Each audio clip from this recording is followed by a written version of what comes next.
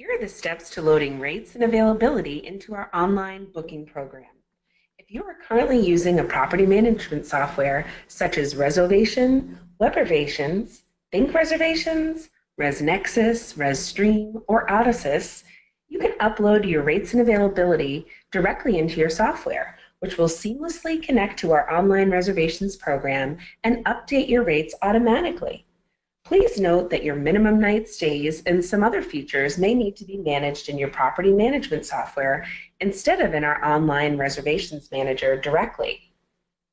Please contact your property management software to have this set up or call your market manager at bedandbreakfast.com at 1 844 287 8175. If you are not using a property management software, you can start to upload your rates and availability by logging into your home base with your property ID and password. After logging into your home base, click Reservations Manager under the Online Reservations tab. Hover over the rates and availability and click on the room type slash name to which you want to add inventory. Next, click on the Add Edit Range button.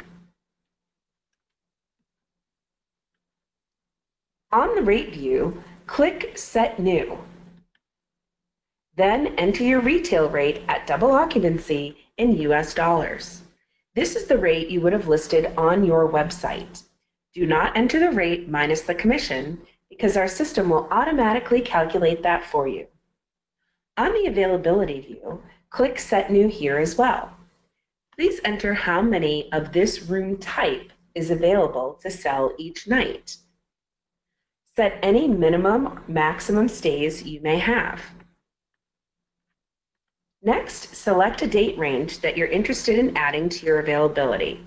If you only want to enter these rates for the weekdays, make sure to uncheck the weekends and vice versa. Be sure to click on the Save Changes button as your final step. Remember to black out any dates that are currently booked to avoid any potential double bookings. This can be done by clicking the checkbox in the last column and clicking Save Changes. Please note, should a double booking occur due to the availability calendar not being updated, the property may be responsible for paying relocation fees to have the traveler be accommodated at another property.